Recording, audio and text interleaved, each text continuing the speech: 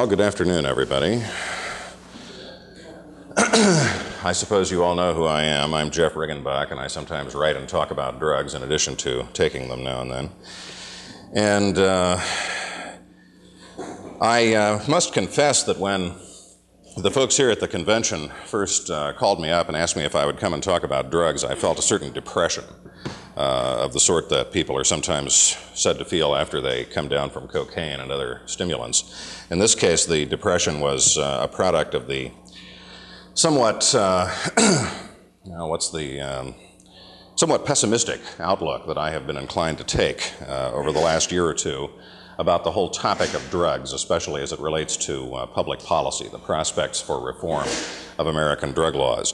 It seems to me that 1979 may have been the good old days, that uh, things peaked at about that time uh, where it comes to public interest in the issue, uh, where it comes to uh, the question of the truth getting a widespread hearing among the general public. Uh, uh, a situation in which a lot of people who were capable of being regarded as respectable and responsible members of society were willing to come out publicly, even including the then President of the United States. Until Ronald Reagan became president, I never thought I would find myself publicly praising Jimmy Carter.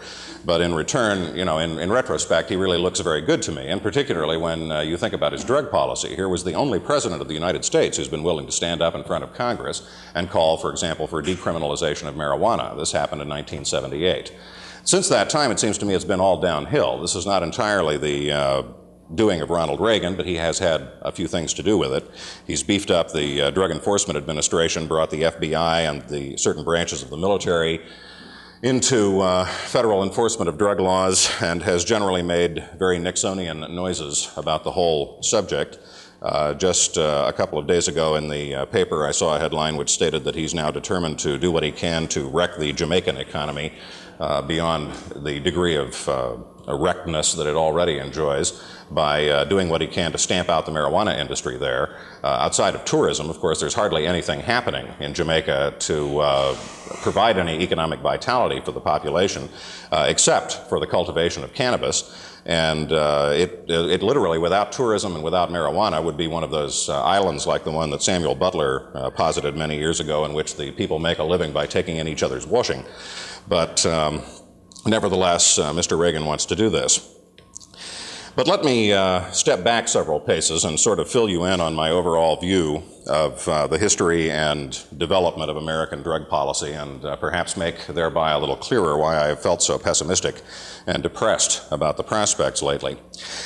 Uh, first of all, I should say a few obvious things in case anyone is uh, unaware of, uh, of the issues as I have them defined in my own mind when people, when people say drugs in the news, when they say drugs causes crime, you see uh, headlines in the Oakland papers these days that say drug, drugs create pockets of fear, drugs invade neighborhoods, drugs do this and that. What they're talking about really are a relatively small number of substances. Most of them occur naturally in plants and are extracted from plants by chemical processes. A few are synthetics uh, created entirely in laboratories from base chemicals of one kind or another but uh, usually in imitation of naturally occurring substances. For example, LSD, one of the most notorious of the uh, dangerous drugs that we're always being warned about, is created in laboratories, but uh, is in effect a synthetic imitation of substances like mescaline and psilocybin, which occur naturally in cactuses and mushrooms, and which has a very similar effect on the user, although it doesn't last as long. Uh, most of the, most of the uh, uh, scare stories that we see in the media about drugs are really focused on a few drugs heroin, cocaine, marijuana, LSD, and to a lesser extent PCP, and a few other drugs that you might classify in different ways. Some people would call them hallucinogenic drugs. The one time I tried PCP myself, uh, I was astonished to find that it had nothing in common at all in my own experience with uh, substances like LSD, and I don't really understand why people consider it a psychedelic, except perhaps that by calling it a psychedelic, they can help to give uh, LSD a bad name. But um, in any case, uh, these are the, this is a relatively small group of substances. Now, except for LSD and PCP, all of these uh, substances have been around for quite a long time. Heroin was first manufactured commercially and offered as a uh, an analgesic, really, in, in, pretty much the same way that we now have aspirin uh, as an over the counter analgesic to take care of pain in the 1890s. And in fact, uh, you can, uh, if you look through old magazines or uh, get certain old books about the history of drugs in America, come across uh, advertisements that ran back in those days advertising aspirin and heroin as though they were comparable products, like we have Anacin, aspirin, and Bufferin. Then you had Anacin, aspirin, and heroin, and you could just go buy it in the form of little tablets at your drugstore. And of course, some people, especially people who had already become interested in morphine and other derivatives of the opium poppy for recreational purposes, would take those little tablets and smash them and then snort the powder that resulted. Uh, instead of using them as recommended. What's the phrase you always hear on the uh, radio commercials? Uh, use only as um, uh, use only as directed, exactly. But people, you know, people like me will always exceed the recommended dosage and use the drugs in some way that they haven't been directed to do. And uh, this was happening uh, with heroin back then. Uh, the cocaine is derived from the uh, coca plant, which is a little shrub that grows in the Andes around uh, the equator in South America. Um, and is extracted by chemical process in a laboratory and ultimately uh, comes in the form of a white powder which uh, people can smoke or uh, mix in a solution and shoot up or snort. And uh, this drug has been around in the form of the, the uh, plant itself for thousands of years. The Indians in the Andes have been chewing coca leaves uh, in pretty much the way that most Americans drink coffee. That is, they get up in the morning and they start chewing coca leaves, and they do off and on all day long. Uh, I've never chewed coca leaves, but uh, the literature tells me that what you get is the same sort of stimulant effect that you get from coffee. It's not so powerful that you would describe yourself as feeling high, but you're stimulated. You have more energy, you feel more wide awake. Now, uh, in the 1860s, the drug was first uh, extracted and purified. What uh, the coca leaves, of course, contain a good deal more than just cocaine. Cocaine is merely one of the alkaloids in the leaves, and uh, scientists were first able to isolate it and uh, produce it all by itself in the 1860s. Within a, about uh, two decades, it had become a very popular substance in Europe, and to a lesser extent in the United States. But the United States caught up. Uh, it was uh, especially popular as an ingredient in wines and soft drinks. Uh, a lot of people know or partially know the story of Coca-Cola. Coca-Cola was originally a soft drink made with cocaine, which had been extracted from uh, coca leaves, and uh, they used other uh, things that were in the coca leaves to flavor the beverage, and they used the cocaine to give it an upper effect on the drinker. And this was a very popular beverage back in that time. There were others as well. Uh, and uh, you could also buy cocaine in drugstores, just a, a box of 100% pure cocaine, which was advertised as an asthma remedy, for example. If you have trouble breathing, you know, inhale some of this and you won't have any trouble. Uh, many of these dangerous drugs, I mentioned before that heroin was sold as an analgesic. Other opium products were sold during this period also as what they called patent medicines in drugstores without prescriptions, and they were offered as cures for all sorts of things that, of course, they can't cure.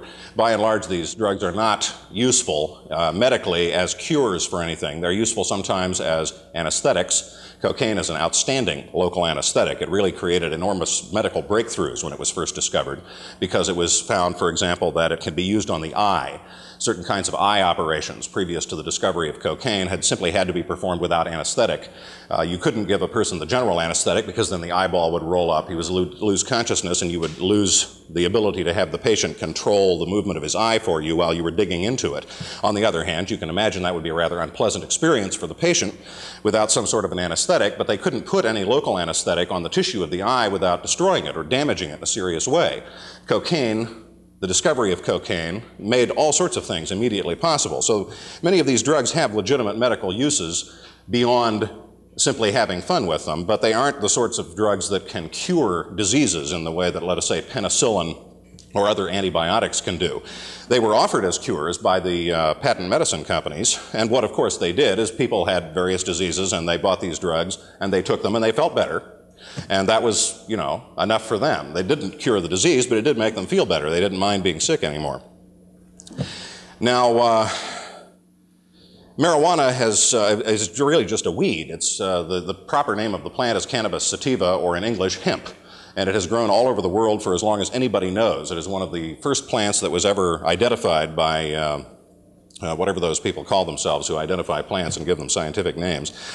Um, the uh, uh, plant has been used as a drug for literally thousands of years. It's been traced back 2,500 years to China, about 2,000 years in India, and has grown everywhere in the world and been used everywhere in the world. There's some indication, though it's difficult to interpret the data, that American Indians may have made limited use of it as an intoxicant even before Europeans came here. It is certain that a variety of the plant was already growing in this hemisphere. It just seems to have spontaneously grown everywhere.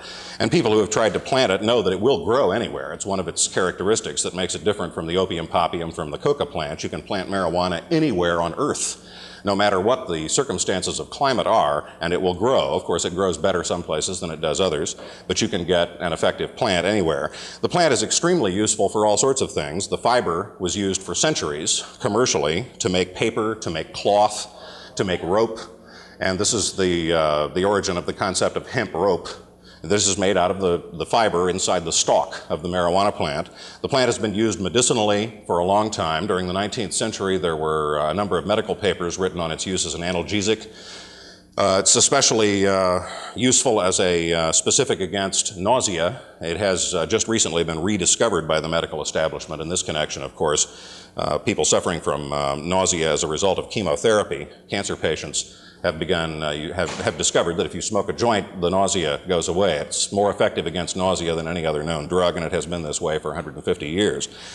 Now, these drugs, I, I, go through all of this history by way of saying these drugs are not unfamiliar, except for LSD and PCP, which were invented in the 1940s and 50s, respectively. LSD was invented more or less by mistake. A uh, drug researcher at Sandoz in Switzerland was doing some uh, experiments with the consequences of combining various items, and he came up with a, uh, a combination which he described as lysergic acid diethylamide uh, number 25.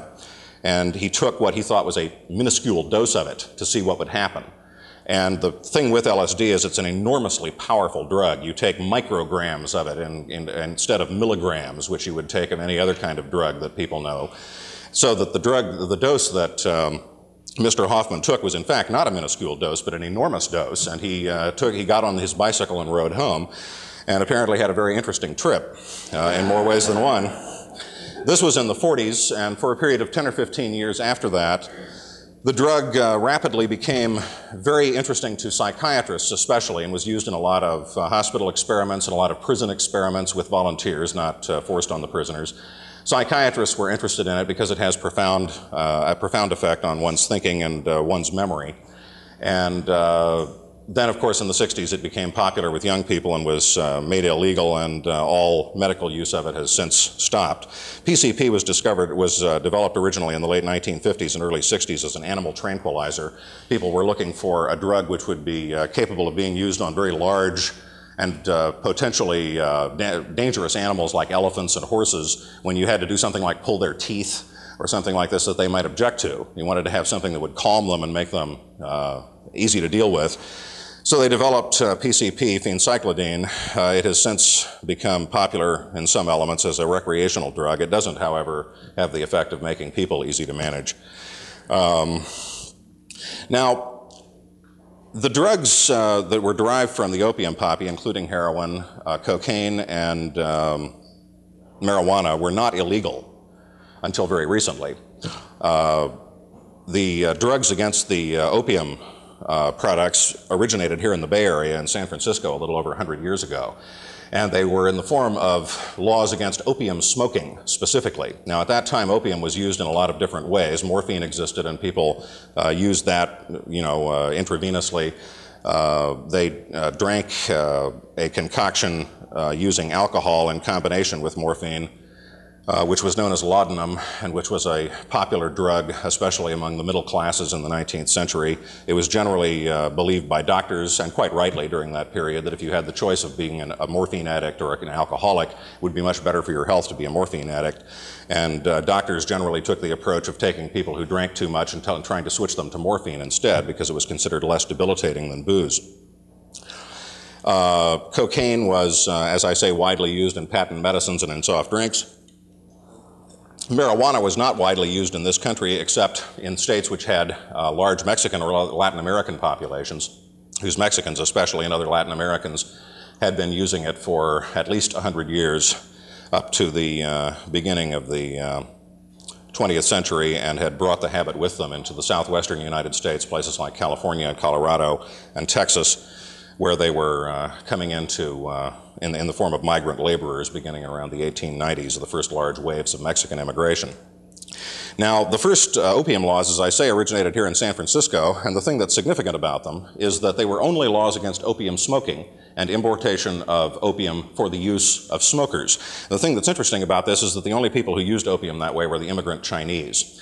The uh, immigrant Chinese had come in large numbers to California in uh, large measure to work on the Intercontinental Railroad on this end and to do other labor, and then they had stayed here. And uh, during the ensuing series of recessions and depressions that uh, took place over the years, uh, they became periodically very unpopular with the populace. There was already a certain amount of generalized racial resentment against them, xenophobia. These are foreigners, they have uh, filthy un American habits, and they should go back where they came from. But this always intensified during periods of high unemployment when the economy was not doing well because it was felt that the, China, the Chinese were taking people's jobs and therefore uh, there was a, a lot of uh, popular feeling against them. And uh, it was during a period of this kind that the opium laws were first passed. To jump ahead a little bit in my story, it was during the 1930s uh, that the first big push uh, against marijuana began, not only in the federal government, the Marijuana Tax Act, the original anti-marijuana law, of the federal government was passed in 1937, but it was also during the 30s that most of the American states began outlawing marijuana. The original marijuana laws, uh, the first ones ever to be passed, are less than 100 years old. They date back to about 1909, and they originated here in California and in Colorado. And uh, there's a lot of uh, material available from that period that ties it with uh, hatred of the Mexicans and the Latin Americans. Uh, I, have, I wrote an article uh, quite extensive on marijuana some years ago in Libertarian Review, which I'm going to steal a little information out of here to give you an example of the sort of thing I'm talking about. Uh, during the 30s, when the Depression hit, you had a similar situation nationwide to the one that I described a moment ago on the West Coast with the Chinese. People were out of work, there was a shortage of jobs, and here in uh, the Southwest, uh, and in the West, where there were large pockets of Latin Americans living, people had the idea, why don't these people go back home where they came from instead of staying here taking jobs away from Native Americans?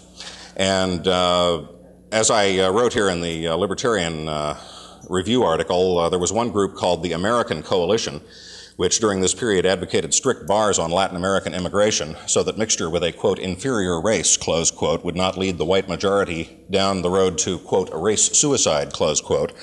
This group was among the loudest and most enthusiastic of the handful of genuinely influential organizations which favored national marijuana prohibition in the 1930s. Uh, an American coalition spokesman told the New York Times in 1935 that, quote, marijuana, perhaps now the most insidious of our narcotics, is a direct byproduct of unrestri unrestricted Mexican immigration, close quote.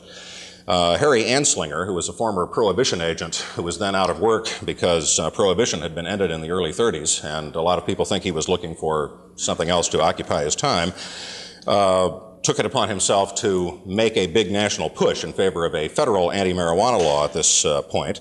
And uh, Anslinger went before uh, Congress in 1937 to testify on the need for prohibition of the weed and submitted, among other things, in evidence a letter from the uh, civic-minded editor of the Daily Courier in, Al in Alamosa, Colorado, a city which had lately been on the receiving end of a good deal of unrestricted Mexican immigration. The editor solicited federal assistance in local efforts to stamp out marijuana abuse, which, he said, had become so menacing that it beggared his powers of description. Quote, I wish I could show you what a small marijuana cigarette can do to one of our degenerate Spanish-speaking residents. That's why our problem is so great. The greatest percentage of our population is composed of Spanish-speaking persons, most of whom are low mentally because of social and racial conditions, close quote. Harry Anslinger, we know, was pretty much in sympathy with this kind of talk.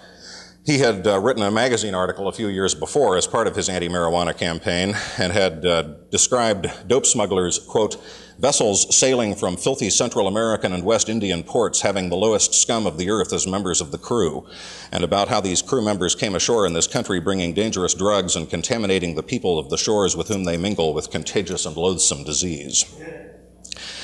Uh, now, this sort of uh, talk was also present uh, during the early years of the 20th century when cocaine first began to be outlawed. Cocaine was primarily used by black people in the South up until the 1920s. The uh, way that that came about, by the way, is that after uh, the Civil War, a lot of the old plantations, of course, went on existing, although the black people were no longer slaves, they were sharecroppers And uh, they still went out onto, the, into, onto huge expanses of land under white supervisors and did work in these fields.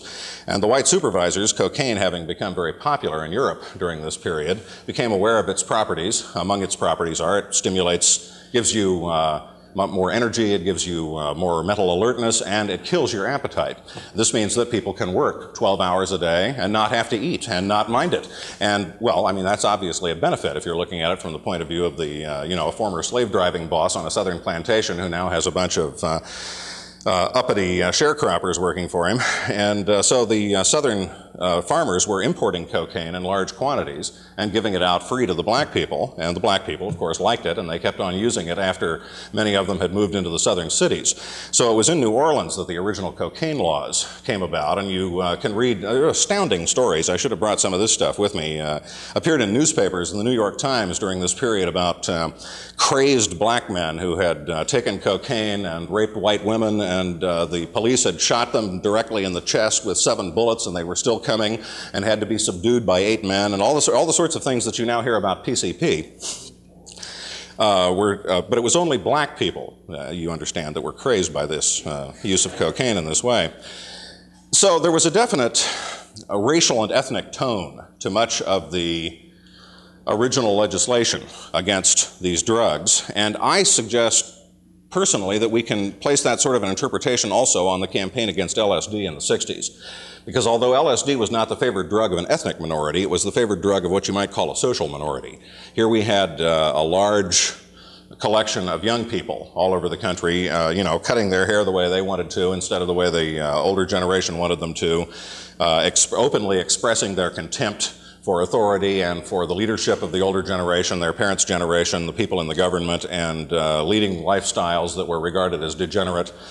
And uh, they became apostles of LSD use, and it seems to me it just fits right in to the general picture. Uh, the government's reaction to uh, LSD during the 60s seems to me to be exactly the same sort of thing as governmental reactions to uh, earlier drugs when they were uh, the uh, favored habits of despised ethnic minorities instead of the favored habit of a despised social minority. Uh, but of course, people who advocate drug laws today don't say, well, we want to you know, keep these drugs uh, illegal because we don't want these uh, uppity uh, ethnic minorities doing anything they want to. This has never been the explicit uh, rationale for the drug laws, although it was much more explicit in the testimony and writings uh, early in the century of the people who favored these laws, because in those days people weren't so sensitive about this, and uh, it was not socially unacceptable to be bigoted. Today, of course, the justification for the laws is uh, offered along different lines. It basically boils down to two propositions. Uh, first of all, drugs destroy the user, and second, drugs cause crime, thereby destroying or undermining society. Uh, the uh, first part, drugs destroy the user, is generally uh, has at least two subheads under it. One is they destroy the mind and or health of the user and render the user incapable of living his life in a satisfactory manner. And uh, second, as a result of this, they render him unproductive at work so that he has high absenteeism, high rate of accidents on the job, cheats his employer, and uh, reduces the productivity of the American economy, fails to support his family, and uh, generally creates misery for all those around him. This is funny. um, well, yes, actually, it is funny, except that it's so ridiculous. Um, the fact, of course, is that I don't know. The, the, the, word that I, I use, generally use in uh, reacting to this uh, sort of proposition is lies. There is a grain of truth in the kinds of claims that I've just outlined, but it is so small by comparison with the rest of what is mixed in uh, that uh, it's very difficult to understand how anyone who has looked into the question at all can take this kind of proposition seriously. Uh, marijuana, for example, I'm perfectly prepared to say, and most medical people uh, who are not in the pay of the government, who are not Dr. Gabriel Nahas or another one of these professional drug abuse mongers, uh, will uh, acknowledge is one of the least toxic substances known to medical science. Hundreds of millions of dollars have been spent over a period of at least 100 years, starting dating back to the Indian Hemp Drugs Commission report of the British studying drug abuse in India in the 1880s, all the way to the, to the present time. Millions and millions of dollars have been spent, hundreds of years, and the devotion of people uh, forming commissions and conducting inquiries trying to show that marijuana is harmful in some way to the people who use it. No one has ever succeeded. No one has ever been able to come up with any evidence that even people who smoke marijuana daily in enormous quantities from childhood through the rest of their lives suffer any damage of any kind from smoking marijuana. Yes?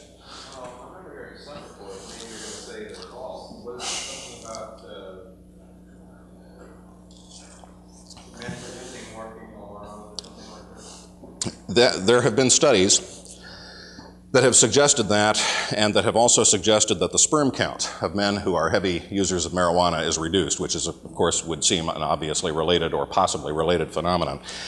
Uh, there, there, are two, two observations to be made about this, one general, one personal.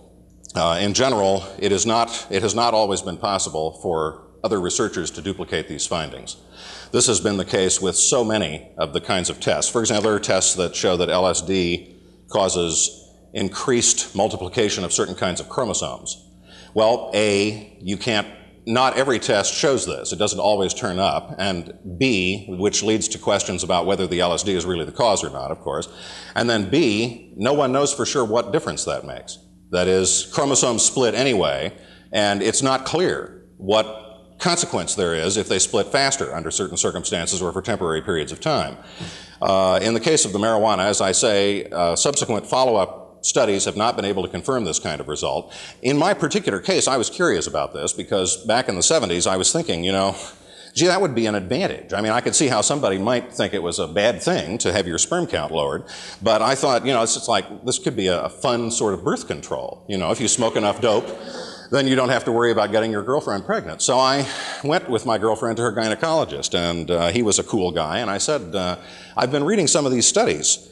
Uh, I smoke marijuana every day. Uh, do you think it's possible I might have a reduced sperm count, and that this, uh, that this might be relevant to our desire not to have children? And um, he said, well, let me take a sample and I'll get it analyzed for you and see. So he did, and he uh, reported back that I had an alarmingly low sperm count and that uh, would, there was almost no chance that uh, I would be able to father a child. And within a very short time, my girlfriend, who had in the meantime become my wife, became pregnant.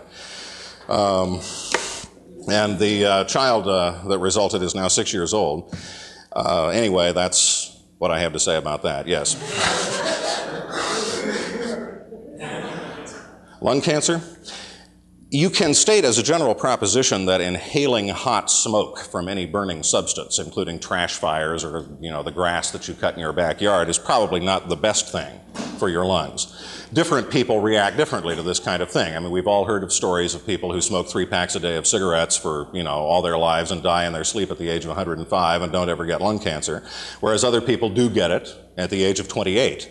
There are different sensitivities to this. Some people can inhale a lot of smoke and not suffer any overt consequences or get diseases, and other people do get diseases when they do this. Uh, no tests have uh, shown that the smoke and the tars from marijuana are any more harmful than the smoke and tars from any other smoke that people customarily inhale, except one study done at UCLA, which suggested that if people smoked the same amount of marijuana daily that heavy cigarette smokers smoke, and we're talking here about two to three packs a day, that this would be more harmful now, as again, we're in the category of studies where it's not clear what the causes of some of the results were, and some of these studies are so sloppy. I mean, you start reading them and you find that that a certain percentage of the uh, people in the study were also cigarette smokers, and no effort was made to weed them out beforehand. So how, how can you even tell whether lung damage in particular cases was due to tobacco smoking or marijuana smoking? I mean, procedural errors of this kind that are so gross that you would think that anyone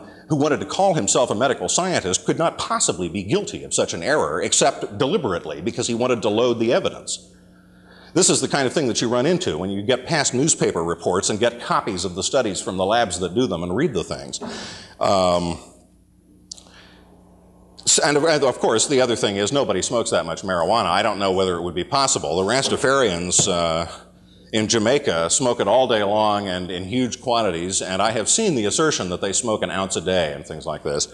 Now, an ounce a day, an ounce of marijuana is about what you get, you know, a pack of cigarettes weighs about an ounce. So you, if, I don't, personally, I cannot imagine smoking an ounce a day. I don't know how you could take it all out and how you could burn it all up unless you, you know, set up a huge bonfire and inhaled through a giant tube of some kind, it would just, it would, you know, would be defeated by the sheer magnitude of the task. And to do two or three of them is really amazing. Uh, so even if the UCLA study uh, is accurate in the sense that the same quantity of burned marijuana produces more harmful tars than the, uh, the same quantity of, uh, of tobacco, um, the fact of the matter is that nobody smokes that much. Even the most confirmed potheads uh, don't smoke that kind of quantity.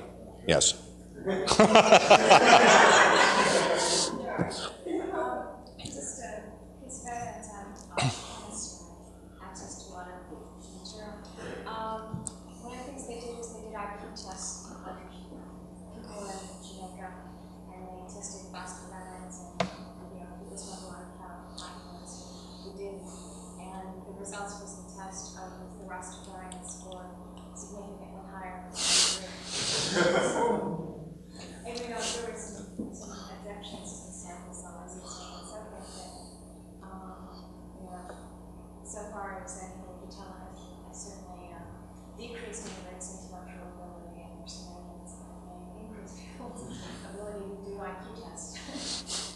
Uh, marijuana is accused uh, in the literature a lot of uh, hurting short-term memory. Uh, you hear a lot about short-term memory loss from getting smoking. I think, uh, from my personal experience, that may be true, especially while you're stoned. It is sometimes difficult to remember things that happened just a few minutes ago, and much easier to remember things that happened yesterday or a week ago. But this seems to pass with the intoxication. Uh, and is therefore not, you know, a long-term or permanent effect of the drug. I really consider marijuana absolutely harmless. I don't know of another substance, including foods, that I think is as benign to human beings as marijuana is. Now, these other drugs, there may be more to be said. I'm inclined to think that LSD is pretty close to harmless too, uh, mainly because uh, although the, the research has not gone on for nearly as long and not nearly the resources have been put into the research yet, but it's been very difficult for them to come up with any evidence of anything except that people can, it's very powerful. It's, I mean, if you've ever been really drunk on enormously powerful liquor by drinking, you know, uh, Everclear grain alcohol and chug-a-lugging a couple of shots of it or something so that you get drunk really fast, it is even more powerful than that. If you're not used to it, it is can be extremely disorienting. And it is possible for people to do dumb things. And it is uh, therefore believable that people jump out of windows and so forth if they do not know what they're getting into, or they take too large a dose, or they freak out and become hysterical when they start experiencing the changes. But in terms of its physiological effect on the body of the user, nobody's ever been able to show that there are any harmful consequences from using it. Cocaine and hair and uh, the opiates are not as if there are degrees of harmlessness, it's not they're not as harmless as these other substances, but they are not as harmless as nicotine, and they are not as harmless as alcohol. All doctors know this. And harmful, I'm sorry. It is, uh, thank you.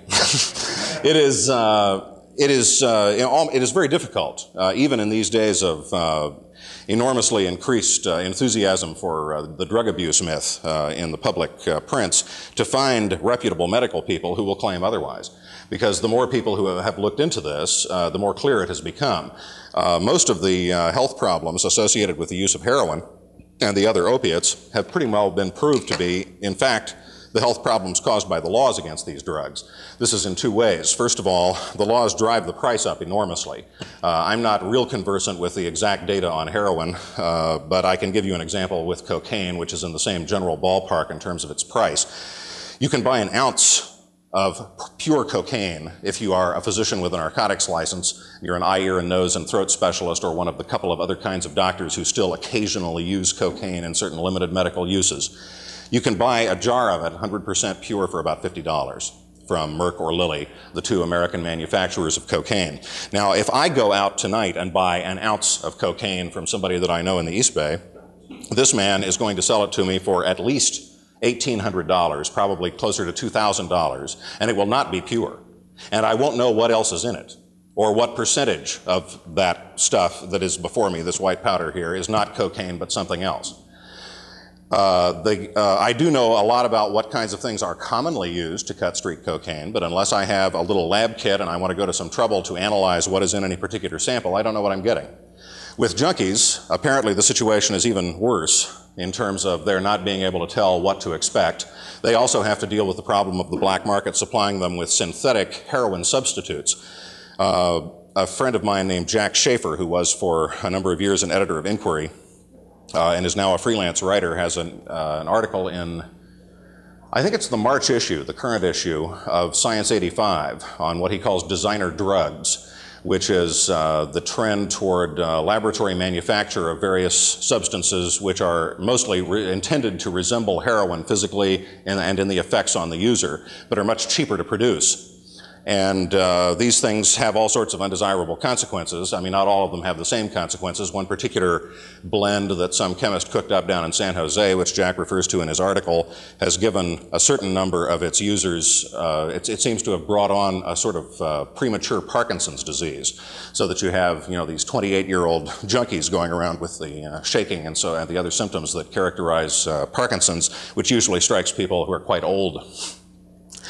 And um, so these, by and large, the health problems associated with heroin use are associated with the adulterants that are introduced into the drug, the fact that the uh, users cannot get a drug which is pure, and second, by the fact that the drug that they buy is so outrageously highly priced, and they are so devoted to it, that they don't uh, invest their money in proper nutrition or in proper medical care. They skip meals. They don't bother about keeping their surroundings clean. They don't bother about, uh, they, they are placed in a situation by the law in which they can't even take care to be uh, properly clean with things like needles and are sometimes placed in a position of having to share them with other users because, of course, these needles are also unavailable except by prescription. You can't just go out and buy one. Uh, so that uh, the health problems are in effect caused by the laws. This has been verified further by um, studies that have been done in hospitals, Columbia University in the 30s, there were uh, a couple of uh, specific uh, tests that were very impressive that are mentioned and written up in this book, Licit and Illicit Drugs by Edward Brecher, in which uh, volunteer heroin addicts were given pure heroin in, the, in a hospital environment, and it was made sure that they weren't taking in other uh, substances other than you know food and so forth while they were in the hospital. And it was found, two things were found. One is that the consequences for their health turned out to be, I mean, all the, all the health consequences that they had been having as junkies suddenly disappeared once they were getting a pure supply, which was free, which they didn't have to shell out hundreds of dollars a day for. And second, they found with volunteers that they could not come up with a dose so large that it would kill anybody. This is an interesting phenomenon, which Brecher devotes a lot of uh, space to in his book, that uh, the heroin overdose, there is some evidence that there may literally be no such thing that the cases in which uh, it has been looked into how do junkie, experienced junkies react to enormously larger doses of heroin than they're used to, they just react by getting high and falling asleep. They don't die. But they do die when there are adulterants in their heroin, or when they take the heroin in addition to taking downers, or uh, which is to say, uh, especially, um,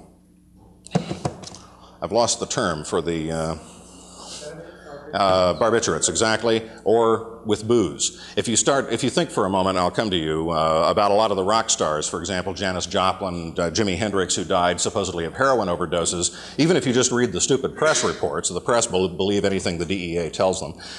Uh, this, I will just go off on this for a moment because it's a a thing of mine. In the 60s, you know, the uh, news media became uh, partisan, we're told. The news media became critical of government, and uh, it has since been critical of government, and it has been arrayed against the government. This is so preposterous. The only thing that happened in the 60s is that a lot of reporters uh, realized that the White House might have a motive for lying sometimes. It might be worthwhile to to think about what they said and, and, question it. Might this not be true? Might there be any uh, hidden agenda here?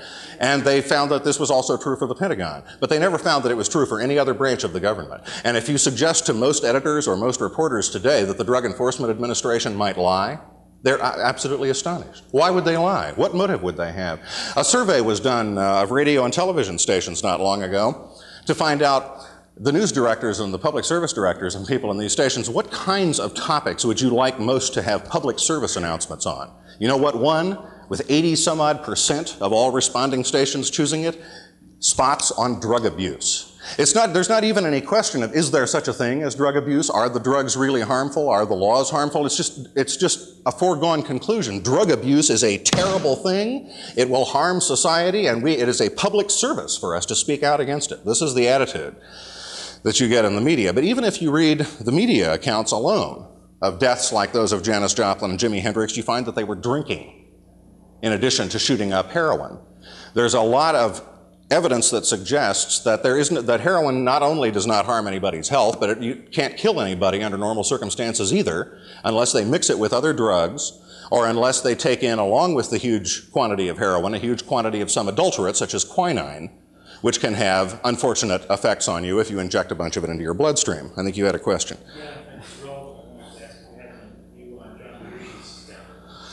Uh, I haven't read enough about that aside from the press reports, which I feel skeptical about. Um, there is a, you can kill yourself with a, with a large enough dose of cocaine.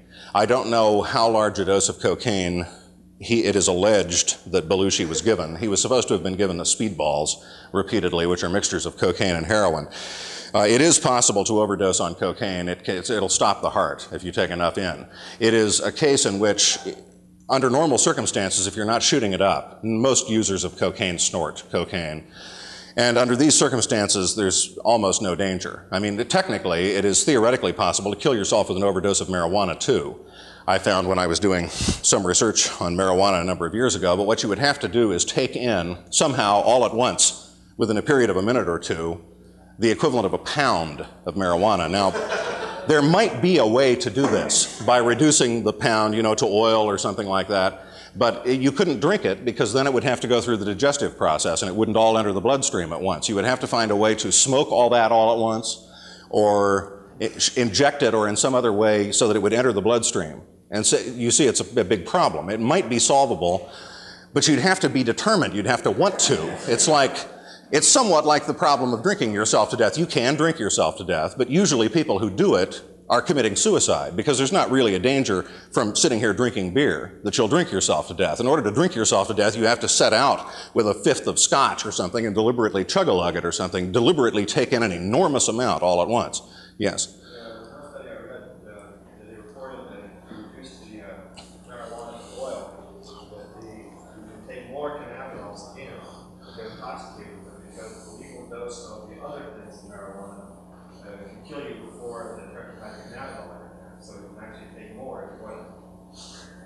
That's the point. You're going to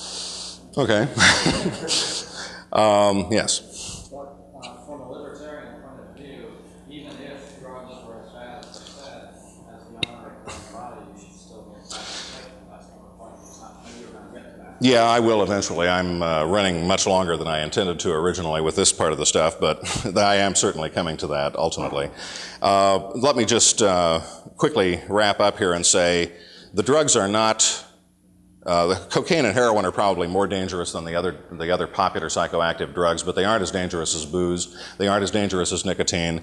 Neither of them has been shown to cause serious diseases. Uh, neither of them, in, used in a normal fashion, uh, if they were available on a free market at a rational price, in a condition of purity of the kind that we normally associate with cigarettes and uh, beer and things of that sort that we buy, uh, would uh, be, they would be much more benign substances than the legal drugs that we have in our midst. Uh, I should uh, briefly throw in one other example, which I just love because uh, many people smoke tobacco, especially cigarettes. Uh, a lot of people don't know that uh, very recently, in the 20s, say about the time Ronald Reagan was 12 years old, marijuana was actually legal in more states than cigarettes were. Uh, in this country. Within another 15 years, the situation had reversed and cigarettes were universally legal and marijuana was illegal. But cigarettes were once widely illegal. Prominent Americans, Thomas Edison is an example, once stated publicly that uh, he believed that cigarette smoking caused irreversible brain damage and would not hire anyone to work for him who smoked cigarettes.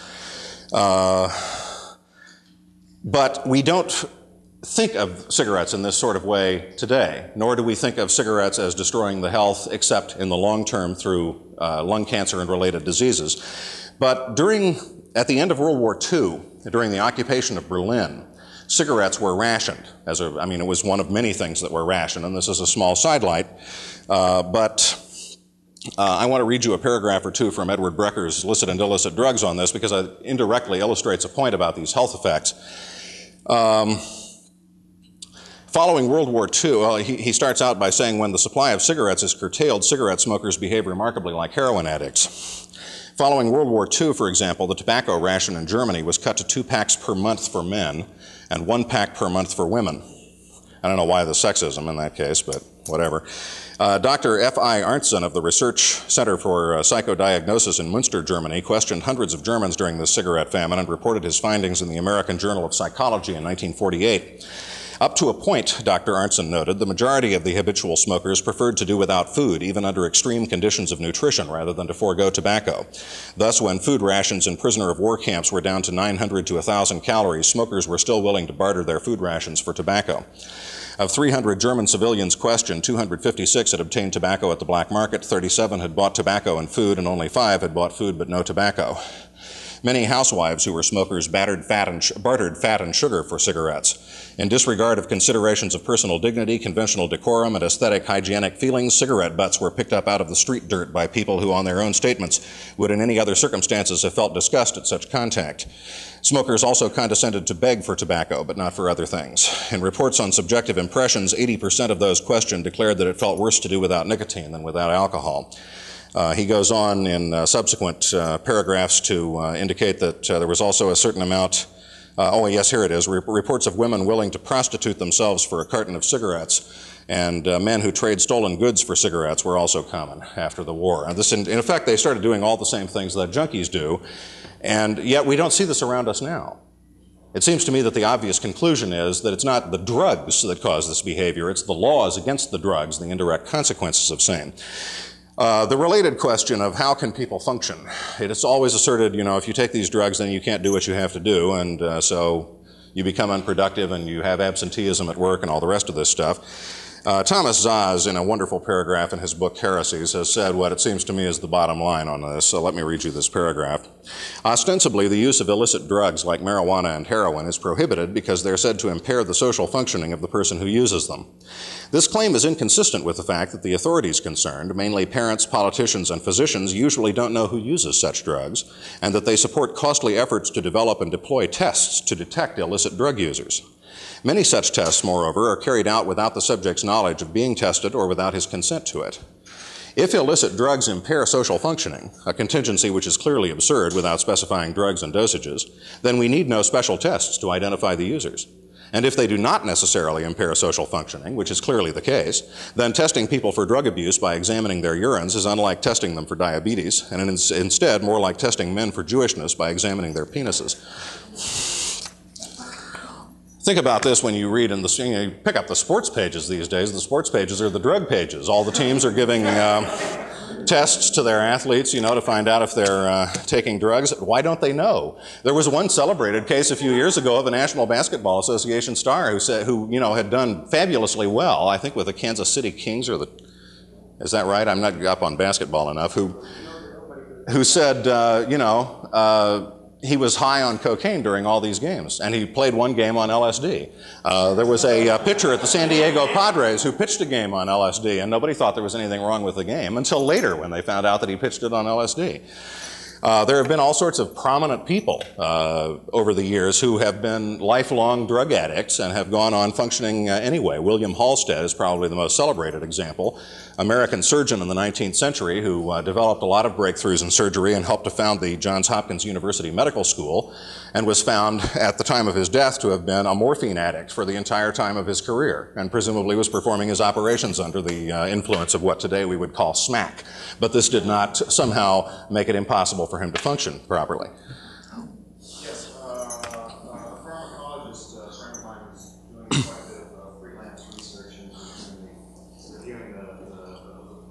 et cetera, in this area. And she, uh, she, uh, one, one, of her, one of her suggestions was that um, for some people, because of you know random metabolic differences in, people, that, that, that, that some people actually do not function, seem not to function properly without these substances. They, you know, for the first time, they, they, they, they start smoking or taking. Uh,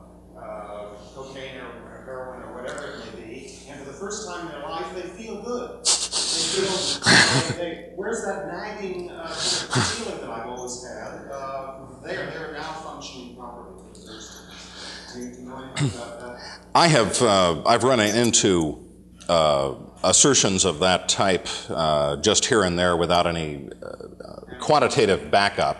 Uh, Szasz makes the comment somewhere that basically, so that some people do take drugs in order to cope. That quite the contrary, that just as you say, that their purpose in taking drugs is that it makes it easier for them to assume their responsibilities and do what they need to do rather than uh, harder. And that, so there are really two types of drug users those who use them in order to cope, and those who use them to dramatize and flagrantly symbolize the fact that they refuse to do what people expect of them and what uh, society expects of them. Um, now, uh, the uh, related claim that drug use causes crime can be dispensed with pretty clearly. I think I don't. Nobody claims anymore that marijuana users uh, commit crime. Uh, yeah, and in the case of marijuana and the opiates, heroin, by and large, the effect of the drug is such as to mitigate against crime. I mean, when a lot of people, when they drink, get violent and go out and pick fights. But when people smoke marijuana or shoot up heroin, they tend to get laid back, you know, and relaxed, and uh, they tend to go to sleep. Uh, it's not the sort of thing that is likely to make you go out and uh, commit violent crimes against your neighbors. A stimulant, like cocaine, might theoretically do that, but in fact, it's been very difficult for anybody to adduce any evidence that people take cocaine and are by the cocaine rather than by their previously made plans induced to go out and commit crimes. Uh, most studies uh, suggest that the reason so many criminals use crimes is because they're in the criminal world and the, and the I mean, I'm sorry. So many criminals use drugs is because they are living in the criminal subculture in the criminal world and the drugs are easily available around them and they know people who are selling them and uh, that they were criminals before they began using drugs rather than that they became criminals after using drugs. Uh, again, a lot of property crime is committed, especially by junkies, to get junk, and the reason is because the, the price is driven up astronomically by the laws. Uh, there was a, a controlled study uh, taken in Detroit some years ago in which the police tested this by selecting areas of the community and alternately enforcing the drug laws harshly and just ignoring them and letting it go on. And what they found is that when they ignored the drug uh, trade and did not try to enforce the laws, the prices slowly fell and the property crime fell at the same time. And the more harshly they enforced the laws, the higher the prices went and the more property crime was created. We don't think of, I mean, do you see people out in the uh, street uh, committing property crimes to buy cigarettes? Or prostituting themselves to buy cigarettes as they were doing in, in Berlin after World War II? No, because they don't have to pay outrageous prices for cigarettes. I mean, by comparison to what I used to have to pay for them back in the 1960s, they seem pretty outrageous, but by comparison to black market drugs, they're absurdly low. Another, okay, another new friend of mine is a physiologist. He strongly contends that, that the, the drug traffic in the U.S. is controlled by the CIA. Uh, and they use the proceeds, uh, they, they, they want, they want it illegal because it's, you know, so profitable, and they use the proceeds to finance, uh, covert operations that they can't get financed, uh, over. Have you heard anything along that line? Sure, and the reason again is that the price is so high. I mean, uh, why do they stand to make so much money that this is attractive? Only because of the laws. These things, I mean, they're just plants. They grow all over the place, you know, especially marijuana. There's no reason on earth that it should cost much of anything in terms of just, you know, the cost of producing the product. And under a normal system of competition in which everyone could grow it and, any, and anybody who tried to sell it for a high price would be uh, running the risk of having a competitor move in on his business very quickly, it simply, you know, it would have to have a very low price. Uh, yes, sir. I heard that heroin was legalized in certain places in Europe. Has that brought down crime? Like, how does that affect- Heroin isn't legal anywhere anymore. It, uh, most, a lot of these drugs were legal in other parts of the world for many years, but the United States has taken care of that. It has made uh, drug prohibitions of the U.S. type uh, a precondition of certain aspects of its foreign aid in many parts of the world and has uh, bullied other nations into imitating its laws. What you may be hearing about is what's going on in Holland. Uh, in Amsterdam, in particular, uh, all the drug laws are still on the books, including the laws against marijuana, but there are clubs in the city of Amsterdam in which marijuana is just sold openly, and the police just, I mean, it, in effect, the laws are just literally a dead letter. They're not being enforced. They are on the books. Amsterdam is still a signatory of the United Nations Single Convention on Narcotics Abuse, which binds it to stamp out marijuana and other dangerous drugs within its borders.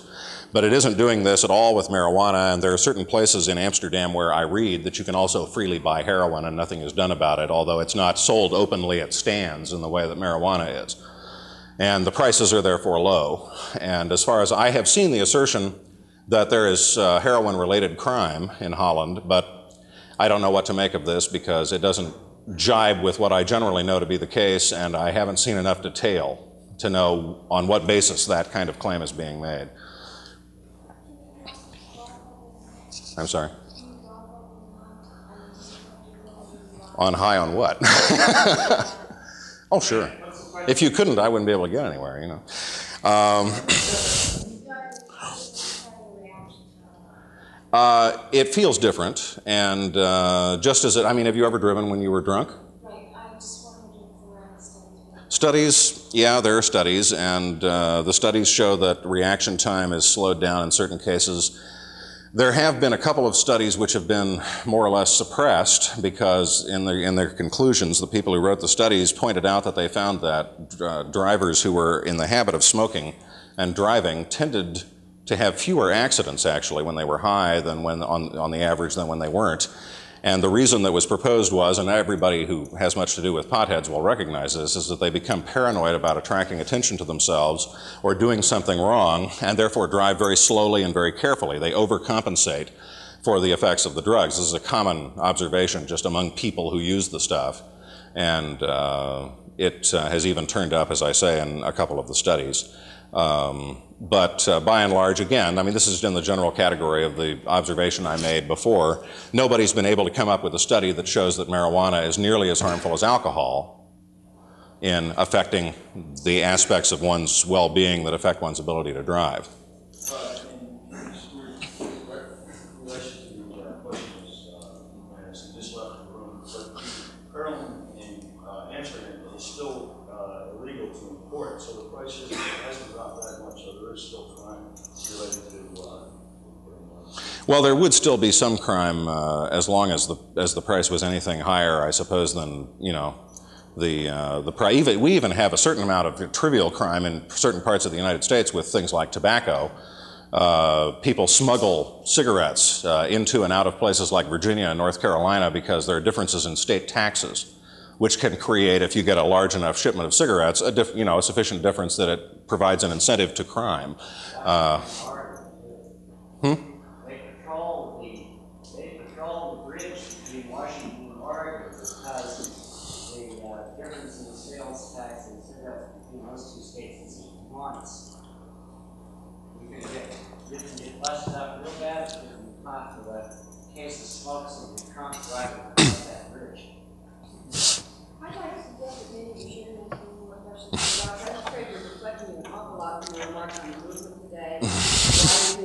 then we'll-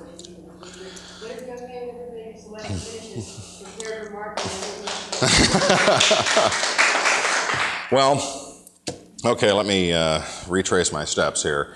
Uh, okay, to, to sum up what I've said so far, then, the basic rationale for the drugs, for the drug laws that we have, is that the drugs are harmful. It seems to me that even judging our laws by the standards implied by that analysis, if we come into it and say, okay, I won't quibble with you about this, the drugs are harmful, just as harmful as you say they are, is the policy an effective one? No. Even judged by the standards of those who advocate the policy, the policy is not only ineffective at achieving what it is supposed to achieve, it is counterproductive. It actually exacerbates the problems that it is supposed to solve. If we, we have the policy so that we won't have crime caused by drug use, the policy creates more crime than would exist if it weren't there, if we only had the drug use there. We want to safeguard public health and make sure that people's bodies and minds aren't destroyed by drug use. The policy causes more minds and bodies to be destroyed by drug use through impurities and high prices than would be destroyed by it if the drugs were simply freely available and there was no policy. There is literally no way to justify what we are doing in our drug policy, even by the standards of those who want the policy to be there. It is a failure and worse than a failure. Now, of course, judged by libertarian standards, it's even worse than that. Not only because we don't accept, presumably, the goals that it has. We think these are none of the government's business. People, if the, even if the drugs are harmful, people have a, they have a right to destroy themselves, to commit suicide slowly or rapidly as they prefer. If, uh, if the drugs lead people to commit crimes, the fact that somebody has taken a drug does not mean he's responsible, not responsible for his behavior. He's responsible for the, committing the crime, whatever he had in his body, whether it was salt or sugar or milk or heroin at the time that he committed it. This is not a special problem from the libertarian point of view. Our policy from a libertarian point of view creates all kinds of other difficulties for us. We hear about a lot about the exclusionary rule, for example. Now, the exclusionary rule And the whole issue of search and seizure law, Fourth Amendment law, is, is all tied up in victimless crimes. If you go into a law textbook and look at the cases that established the exclusionary rule in the first place, you find that they're all victimless crimes cases. Cases like Mapp versus Ohio, which was a pornography case. the cases that the, it's, it's upwards of 90% of all the cases in the federal courts in which evidence is thrown out for illegal search and seizure are uh, victimless crimes cases in the gambling, pornography, and drugs categories. The main reason that police exceed constitutional guidelines in conducting searches is because there is no other way for them to enforce laws against victimless crimes. The people who are committing a drug crime, they're just sitting in somebody's living room, you know, and one of them hands the other one a package and the other one hands the other one some money. And they both agree to the transaction and no one complains. How are the police even going to find out that this is happening? Unless they are spying in the window or tapping the telephone line or, you know, uh, knocking down the door without a search warrant or any uh, grounds for suspicion that anything is happening or doing something else which can ultimately, under exclusionary rule law, get the case thrown out. This, this, the, the, in, in, some ways, actually, I would say that we hardly would need those kinds of protections if we didn't have victimless uh, crime laws of different sorts on the books. So, and you can, you can look at the development of Fourth Amendment law. It starts in the 20s with prohibition. It was during the 20s that you first suddenly start having all these cases in which uh, lawyers are going in arguing that the Fourth Amendment rights of the defendants were violated. And the reason is because the only way to enforce prohibition was for the prohibition agents to do just as I said. And so one of the, one of the significant features of our constitutional protections in this country has been eroded, and it has been eroded specifically by our drug policy. This is a consequence that libertarians would presumably deplore, that is an additional evil consequence of the drug policy that we have in effect right now. Uh, it has had uh, deleterious consequences also for our foreign policy. It has made, uh, it is one of the factors that has made the United States extremely unpopular with a lot of people in Latin America, especially in those parts of Latin America in which the coca plant has grown, because traditionally the, those, the coca plant has not been against the law. The Indians have been chewing the coca leaves for centuries, as I say. And um, in fact, in uh, Peru and Bolivia, still the governments of those countries are in the cocaine trade. And part of this is not just because there are a bunch of uh, generals who are uh, looking only for the money, it's because in that country, in those countries, despite decades and decades of U.S. pressure, otherwise, people have never got to the point that they think of cocaine as something evil. You know, they think of it the way we think of booze. It's just, you know, so you snort cocaine or you chew the leaves or you something like that. It's just not, they haven't been willing to accept the American uh, vision of this stuff. Yet, despite how uh, totally uh, indefensible our drug policy is by any existing standards, ours or anybody else's, it is one of the most popular policies that we have. Uh, if, a, if a politician wants a policy to, uh, to get, you know, get up on a, on a platform and uh, announce his fervent enthusiasm for, and he doesn't want to have to worry about offending anybody, drugs. We won't offend anybody at all. Right now, across the bay, Lionel Wilson is staging an enormous publicity stunt on behalf of his third uh, campaign for the uh, mayoral's office in mayoral office in Oakland. You know, the, the, uh, the drug crisis in Oakland. Well, the drug crisis in Oakland isn't any different today from the way it was five years ago or 10 years ago. It's the same thing. All that has happened is that, you know, here, here's a politician he comes up and he says, Oh, the drug crisis. We have to have a war on drugs in Oakland. Now, he puts himself in an enviable position right away because no one will argue with him. Nobody's going to stand up there and say, Oh, it's all bullshit. The drugs are not harmful. The uh, laws are harmful. Instead, we should get rid of them. Wilson Riles Jr. can't say that. He's Wilson's opponent. So he has to, he's placed in, a, in, a, in the position of having to say, Well, yes, I agree with Mayor Wilson. And, uh, he's, uh, auto- he's automatically in, placed in a secondary position. He did not have the fortitude to come forth in the beginning and uh, crusade against this horrible problem, and uh, instead somebody beat him to the jump. Nancy Reagan wants to improve her image, you know, people think she spends too much on China and on clothes and so forth. Well, she gets into drug abuse. It's, it's one of the most popular kinds of things for first ladies and other useless types in uh, the political world to get into because no one questions it. Uh, it's what the uh, broadcast stations want for their public service announcements. Everybody is against drug abuse. I have here from Harper's Magazine, October of last year, 1984, they uh, delved into the bulletin of the Department of Justice's Bureau of Justice Statistics. 60,000 Americans were asked to rank the seriousness of 204 different crimes. Based on their responses, a severity index was arrived at for each crime, and then they list the 20 most serious and most heinous crimes that anyone might commit. Number 10 is running a narcotics ring. Let me list for you the 10 crimes, the, the next 10 crimes that it outranks in seriousness in the public mind. Number 11, a person plants a bomb in a public building. The bomb explodes and one person is injured, but no medical treatment is required. Number 12, an armed person hijacks an airline and holds the crew and passengers hostage until a ransom is paid. Number 13, a person plants a bomb in a public building, the bomb explodes, and 20 people are injured, but no medical treatment is required. Number 14, a man rapes a woman. Because of her physical injuries, she must be hospitalized. Number 15, a woman stabs her husband. As a result, he dies. Number 16, an armed person hijacks an airplane and demands to be flown to another country. Number 17, a man rapes a woman. No other physical injury occurs. Number 18, a man tries to entice a minor into his car for immoral purposes. Number 19, a, person intentionally sets fire to a building, causing $100,000 worth of damage. Number 20, a person intentionally shoots a victim with a gun, the victim requires hospitalization. All of these crimes are less serious than selling drugs to somebody who wants to buy them from you. Just the other day in the San Francisco Chronicle, there's a story on the front page. Governor Deukmejian is demanding more funds to combat child abuse, armed robbery, and marijuana growers. I looked at that, and to me, this is hysterically funny. Those three people child abusers, armed robbers, and people who grow a plant. This is the way the public perceives this issue. Now, why does the public perceive it this way? I think part of it is the media. As I have said, sort of getting ahead of myself several times in the course of standing up here, the media, they think, they just, they don't want to even consider that there's any questions to be asked on the conventional wisdom on drugs. And if anything, I work in the media, this is how I make my living. If anything, it seems to me it's gotten worse. This is one of the reasons that I, that I have that for this pessimism that I said was gripping me when I first stood up here.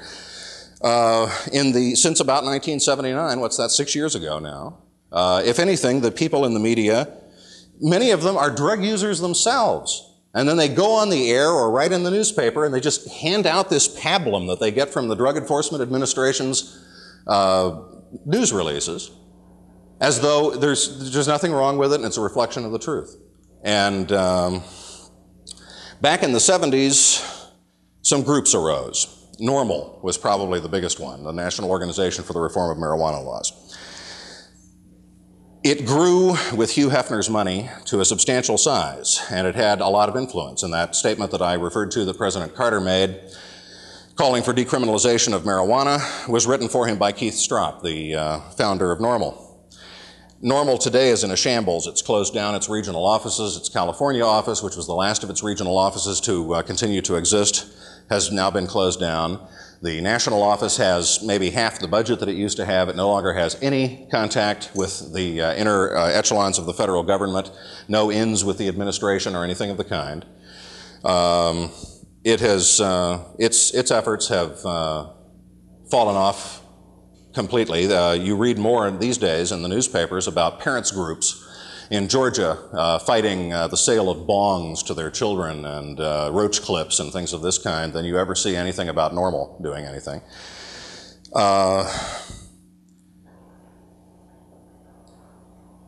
The issue is regarded by a lot of people who do understand the truth on it as relatively unimportant.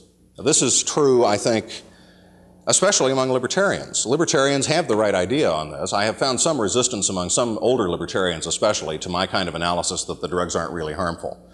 They don't, either they don't want to believe it, or if they don't, if they do believe it, they think it would be hard to sell to people. So why don't we just, you know, push that aside and say, even if they are harmful, on grounds of individual rights, people have a right to use these drugs, which of course is true.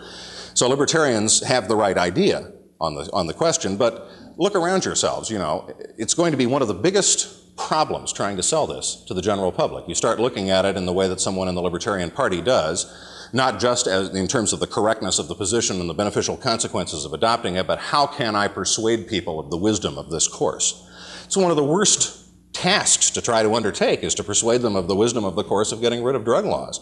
It's like a religious obsession, which the media is constantly hammering over and over, day in and day out. The people are being told about the menace of drugs. They hardly ever hear anything on the contrary. You got a real uphill struggle trying to sell them on something like this. And is it that important? Of course it's important. People's rights are being violated. People are being thrown in jail. There are some, you know, outstanding cases of some kid sells a cop a joint and goes to prison for 16 years or something like this that are outrageous violations of individual rights. On the other hand, not as many people are, are as affected by it as are affected by the welfare system, as are affected by the selective service, especially in the event of another war taking place down in Central America. There are all sorts of larger issues that looked at from a purely pragmatic point of view as a libertarian, you have to say are more important. They would be an easier sell. They will do more good more quickly if we can actually turn public policy around on these issues. So there's a natural tendency to say, well, you know, people are irrational on this topic, you can't deal with them. So we won't put a lot of emphasis on it. And a lot of emphasis is not put on it. And I can't I can't be too critical of this. It makes sense to me. If I were in a strategic sort of position in the party and trying to choose issues with an eye to how we can have the most effect on the general public, I too would be inclined to say, let's not put a lot of resources into uh, drug reform because we can use our resources better in another way. We aren't so rich that we can afford to do this. So, how can there be hope? I really, you know, I, am supposed to be writing a book on this subject for the Cato Institute, and I have been supposed to be writing it for some time. And as perhaps you can tell, I've done a little reading and I know something about it, but I'm having trouble doing the actual writing, and part of the reason is that the more I read and the more I learn, the more I realize that all of this has been known. Everything I've told you today is none of, none of this is new. A couple of decades people have been writing this kind of thing. Many, many books have come out and articles in magazines and journals. It's well known, all of it, and has been for decades to anybody who goes into the goes to the trouble to study the topic. And what has happened?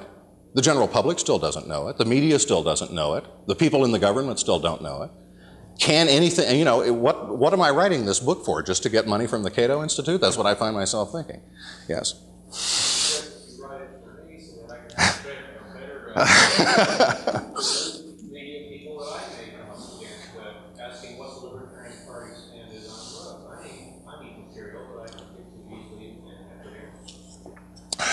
Okay.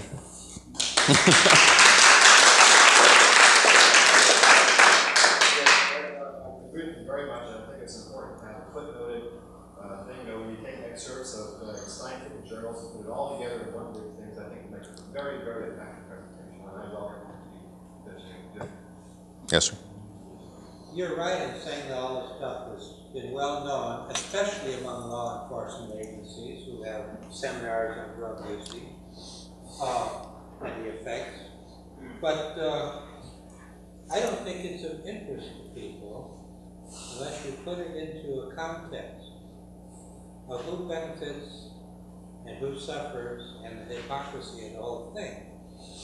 And unless you write your book with that kind of a focus and context, I don't think there's a market for it, just as nobody bothers to read the stuff that's already been published, including that book you have there, which Consumers Reports distributed at a very moderate price ten years ago. About that. Almost 20 now. Okay. Uh, in that, I mean, you could write a similar book to that and you'll get nowhere because it's facts. And it's not, and it's not in context. It's not, I was up in Mendocino last week and talking to people about the drug traffic there and some of the effects, the pros and cons, who is benefiting and so forth. It's a fascinating subject and the newspapers have run a few articles on that. But take it in a broader scope, and not just Mendocino, but the whole United States. The extent of drug use and the who benefits from it, including possibly the CIA, which is not inconceivable, because that's happened in Southeast Asia.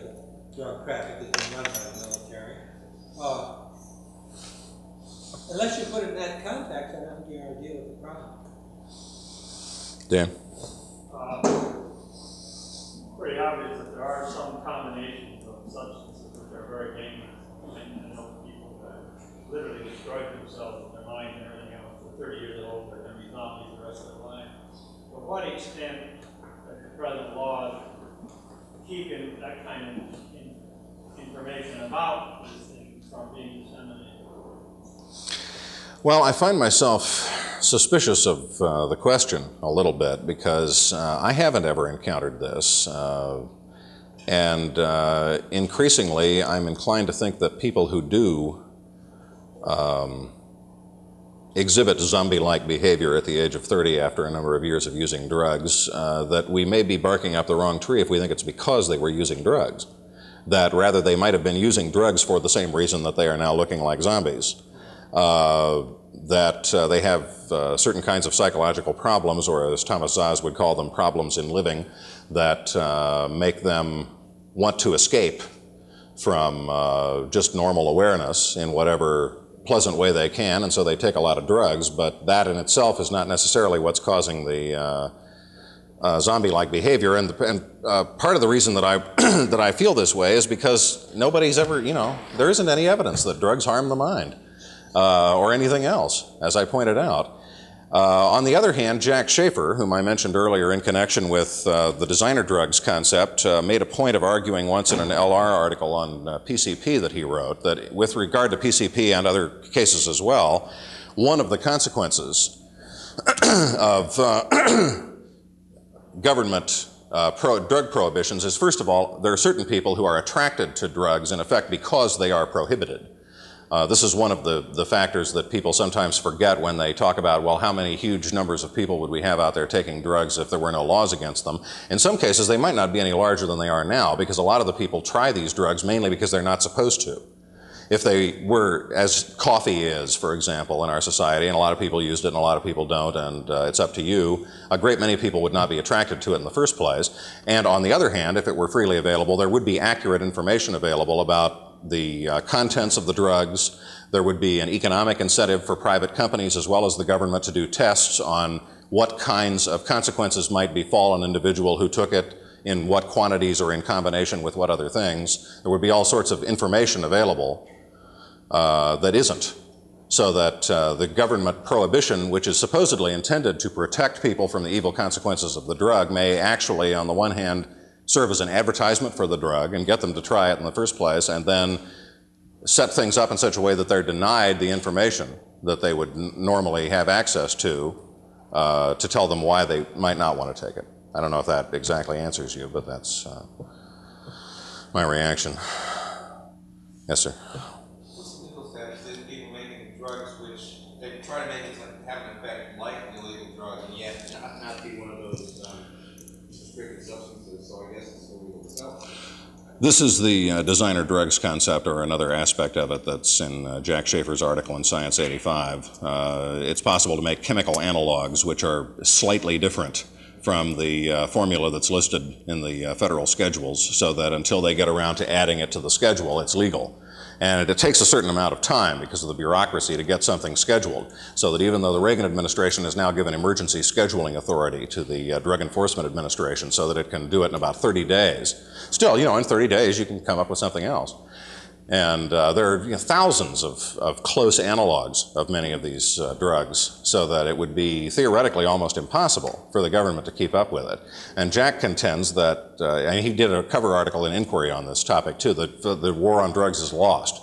It can't be won, because now that we have this synthetic uh, capability, uh, it's uh, impossible for the government to keep up. And yet, if they can schedule it within thirty days, it's kind of not worth going through a big marketing effort on this thing that's gonna be illegal. Forty years ago. right.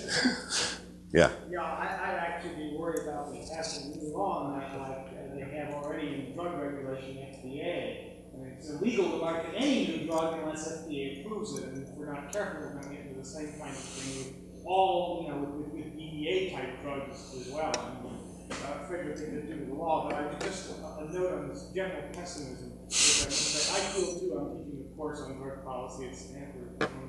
And to see the level of uh, student awareness on this uh, at the present moment is, is very depressing comparing it to the way it was 10 years ago. But the one thing that I see grounds for optimism is that things seem to always gone in cycles through American history. There have been episodes of dr- drug popularity and drug unpopularity, and drugs, at the moment, the illegal drugs are not very popular, but, you know, 10 years ago, they almost got legalized, but what's going on now? Cultural, a, a cultural hypothesis of mine is that who are the kids that are now in college and who are the youth culture? Well, they're kids of 1950s generation, who in fact were not a drug-using generation. They were the last conservative generation. The 1960s generation still has its kids coming up through culture when they reach the, the, the age of the age of uh, experimentation in 10, 10 15 years, I, I, I predict that they will have a turnaround and I hope we'll have all the, all the propaganda they're waiting for. Yes, sir. One thing I see in the future is that we found DNA technology whereby all these efforts to close off the supply from foreign nations will be of no effect because people in laboratories will be, through the use of, you know, E. coli bacteria, and gene splicing, will be able to produce all these things. And so, and so in such a small area, it's required to set up one of these labs, it will be virtually impossible ever to, to stop the supply of drugs in the state. Certainly a, uh, something to look forward to, I'd say. Uh, I think that bit that you mentioned came out with, I mean, it's so obvious, there are two real, you know, problems. And this funny one about, you know, growing marijuana plants. Somehow, I think we take the parity, I mean, it's so ridiculous.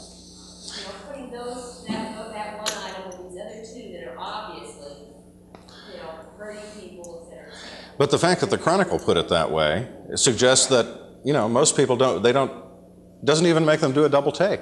It just fits right in, you know, armed robbers, child molesters, and marijuana growers.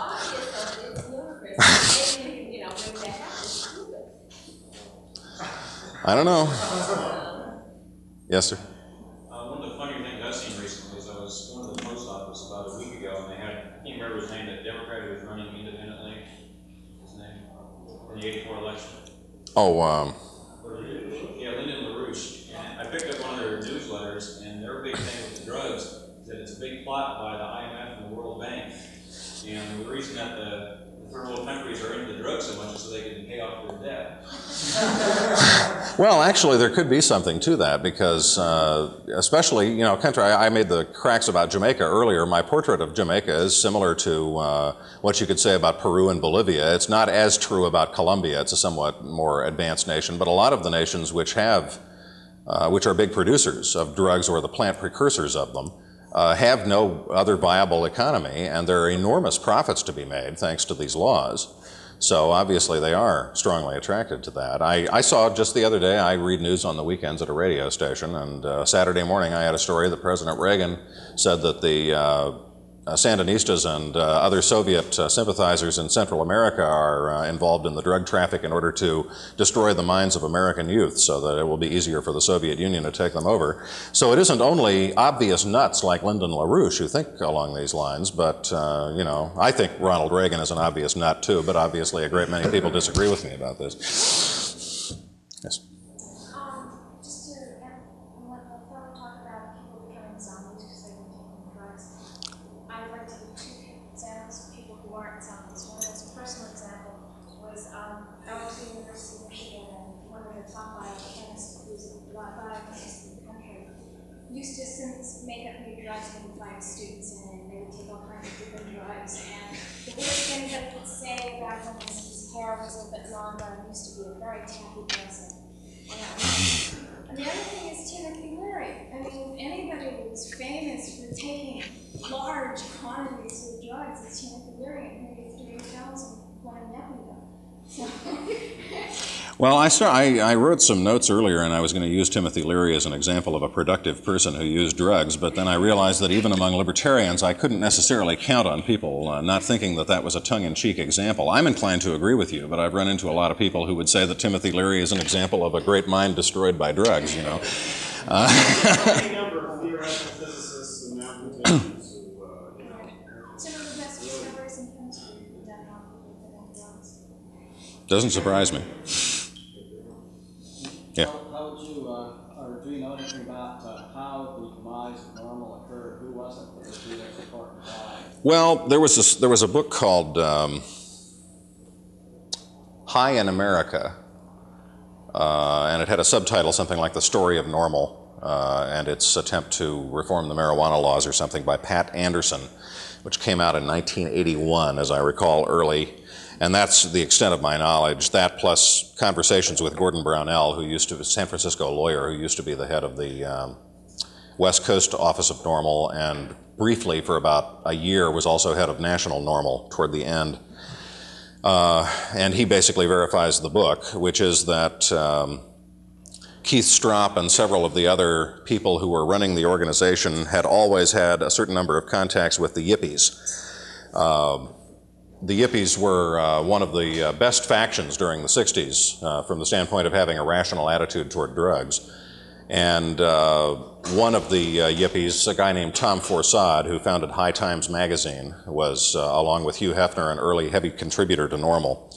And um, I can't recall the exact details as I stand up here, not having looked at the book, not anticipating this question, but basically what happened is that NORML had a conference in 1979, late or early 1980 in Washington. They used to have an annual conference which was partly scientific, partly legal in its emphasis. And they uh, had got to the point that their conferences were attended by uh, admitted by people in the government, and they had uh, DEA people and uh, National Institute on Drug Abuse people and National Institute on Mental Health people who agreed to come and speak and, and be on panels because they had got themselves to the point that the opposition regarded them as serious, respectable people and not a bunch of kooks. And uh, this was one of their great achievements, I think. I mean, that's a huge public relations coup to have done that in less than 10 years. Uh, but uh, the Yippie element uh, convinced Keith Stroup to agree to funding a pie hit on. Uh, I'm trying to remember, I, I, can't remember the official's name, but he was an official with the National Institute on Drug Abuse who had done a turnaround a few days before the conference and made public statements about the uh, dangers of marijuana, which conflicted with his earlier statements on the same subject and uh, which were felt as a sort of a personal betrayal by people in NORML. Uh, this I find myself thinking of Robert DuPont, who's now the head of the National Institute on Drug Abuse, of whom what I just said is also true, but it wasn't DuPont himself, it was a lower ranking official. Uh, was up there on the platform at the table, and uh, Aaron Kay, who's a um, uh, among people who know the Yippies, well-known Yippie pie hitter, uh, came rushing in with a cream pie and uh, smacked the guy in the face with it. And uh, after that seemingly trivial incident, was all over with NORML. None of the people in the government uh, would have anything to do with them anymore. And uh, once their uh, obvious influence stopped, then you know funding started becoming a problem.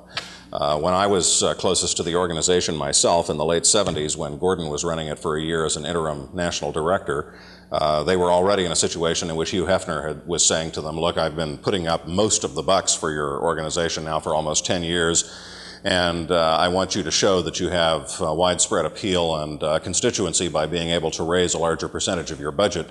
And this was happening at just the point that the, you know, their, their influence in Washington was going down the tubes. They could no longer take uh, prospective donors to functions that they held in Washington and saying, you see, the, all the people from uh, the Department of Health, Education, and Welfare are here, and the people from the National Institute on Mental Health, and uh, we have friends in high places, and we're really going to be effective because it wasn't happening anymore. It does seem kind of amazing, you know. it's almost like it was just a pretext. If this is the true story and this is all that there is to be said, it's like the government was looking for an excuse to uh, stop this. And uh, so the pie gave them an excuse. Is there any soft spot anywhere in the government today uh, where there are some reformist uh, opinions? I don't know of any. It used to be that uh, there were people in places like NIMH and NIDA that uh, took reasonable or semi reasonable uh, approaches. But over the last few years, the reports that I get, I know some people around the country, lawyers and doctors, who are interested in this and are academics and uh, want to do scholarly work on the effects of drugs. And uh, they tell me that it is literally, it's no longer possible to get any funding unless it is obvious from your past publications and your credentials that you can be expected to do a study which shows how harmful the drugs are and how uh, beneficial our laws are. Yes, I have a copy of the Wall Street Journal last December, so they did a uh, story on the Amsterdam situation that they're starting to uh, decriminalize. Part of their three-part series. Yeah, four part, I think. Yeah, four. Uh, Yeah. They actually men- mentioned the libertarian movement, and everything, so, but, uh, it is a free market, uh, uh, idea, I guess,